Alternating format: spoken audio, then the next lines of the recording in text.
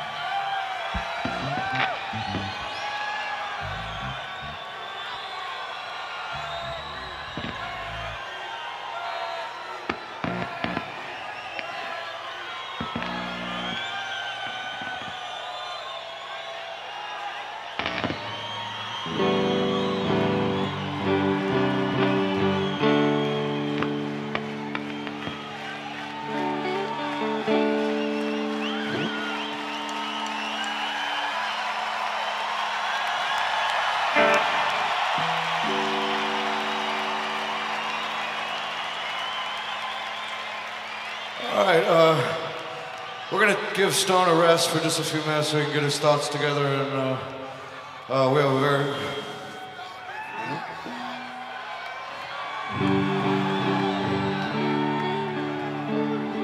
You know, the ironic thing is, is he was the, the one that was most excited to play tonight.